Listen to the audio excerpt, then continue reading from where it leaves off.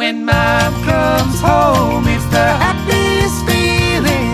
I could jump through the ceiling when mom comes home. I hear something in the driveway. That means a car is parking. I see she's coming my way, so this puppy starts a barking. Just outside the front door, I can hear those keys a jingling. And I can't wait anymore, so this puppy starts a